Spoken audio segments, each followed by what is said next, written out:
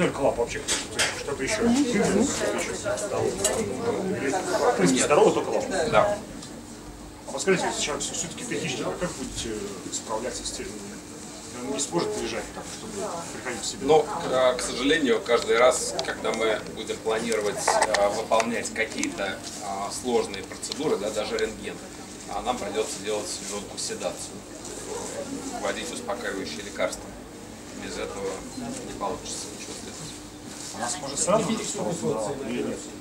Да, То есть, по сути, но а, поскольку все-таки болевой синдром а, у львенка будет, мы будем применять обезболивающие лекарства для того, чтобы ей было не очень больно. А, но, тем не менее, а, львенок вполне сможет ходить самостоятельно. То есть вторая лапа у него цела, а у этой лапы ну, лучевая кость тоже не тронута нами. реабилитация по времени примерно. По опыту по собакам. Ну, порядка полутора-двух месяцев. А это вот здесь находиться или Нет, нет, уже в домашних условиях. а? Какого-то специального ухода за львенком не требуется. Э, Сейчас мы убедимся, что он проснется, придет в себя, все опасности будут позади, а, нормализуются его жизненные показатели, да, число сердечных сокращений, число дыхательных движений, температура тела. А, Мы убедимся, что мы купировали болевой синдром, да, что ребенок не испытывает сильной боли, и сможем ее выписать. А что она в ближайшее время будет кушать?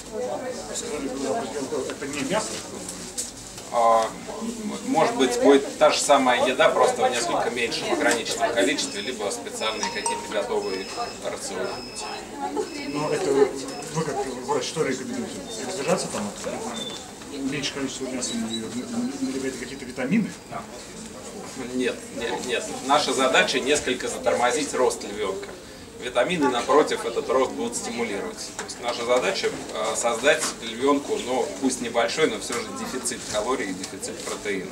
Меньше то, есть то, же самое, то же самое питание, но, скажем, не с- там, 90% от нормы.